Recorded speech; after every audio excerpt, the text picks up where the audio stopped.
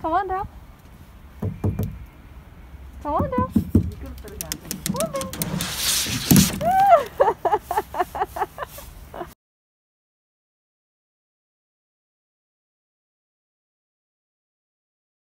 Windsor, Nova Scotia is a cool little town about 45 minutes west of Halifax. For such a small place, Windsor's pretty famous. You see, 222 years ago, a group of brave souls strapped steel blades to their boots and played a game of hurley on Windsor's famous Long Pond.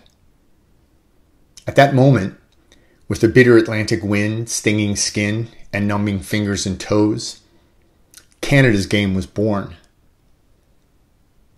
We'll pay homage to those who spilled blood and lost teeth on that sacred piece of ice in part two of this video series.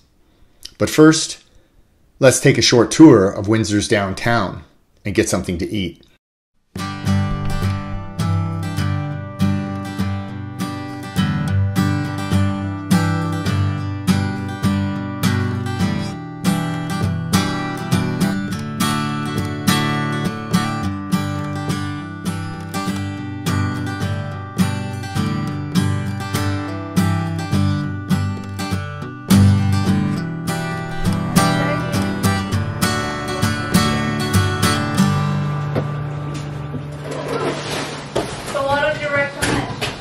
Do I recommend? Yeah. Well, I can, here. I I thought recommend, well, I'm gonna make her one, sir. All right.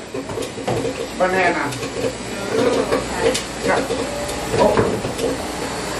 Uh, my little man blew over again.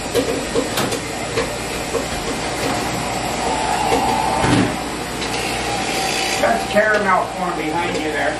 Oh, the I caramel? made it last night.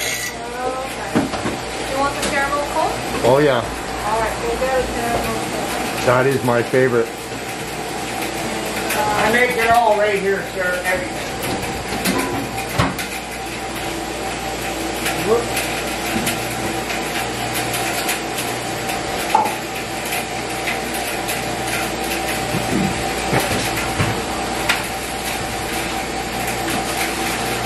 A nice day for a cake. Yeah, it's beautiful. See that sugar right in my popcorn machine? That's never done. Down here. Am I getting bananas? Getting some banana cotton candy and some grapes. Oh, sounds good. Okay?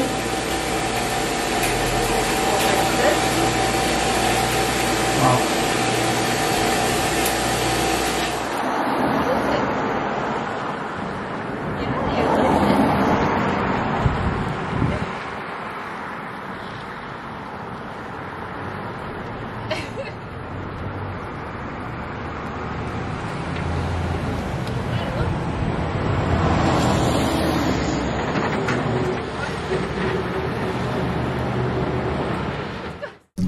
Founded in 1685, the history of Windsor is like that of other towns across Nova Scotia.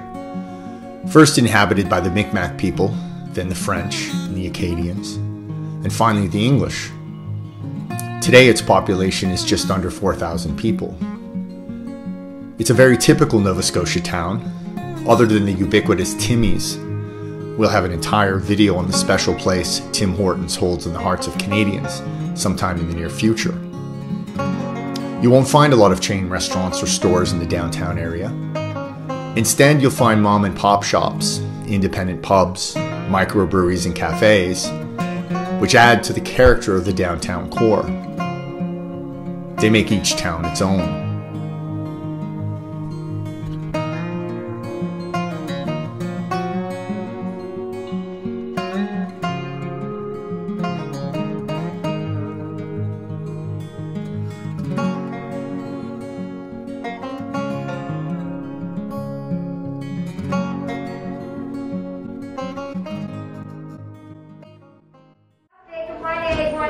Church nothing else. All right, guys, how are you doing? Good. All right. Does fish burger special come with fries? Fish burger special? Yeah. Oh, okay. I'll get that one. Fish burger special. Okay. What would you like to drink? Uh, just water's fine for now. All right. Yeah. Would you? I'll take a chicken club, please. White or whole wheat? Uh, white or whole wheat? Uh, I'm gonna get fries, so I have to have whole wheat. Any drink for you? Yeah, I'll take a ginger ale, please. And anybody for gravy on the fries? Uh, yes. Absolutely. I, I think I'm okay. 'cause Can you put it on the burgers, side? that's Yeah? Okay, yeah, thank you. All right, then you can use it. All right, Yeah, thank, thank you. you. you. Thank you.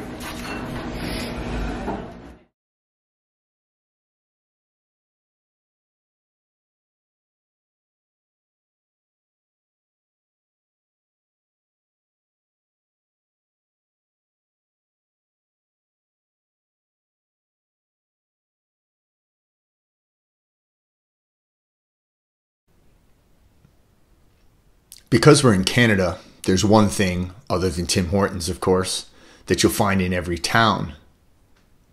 The local ice rink, we call them barns, is the pride and joy of the community. It's the place where generations of kids gather to play hockey.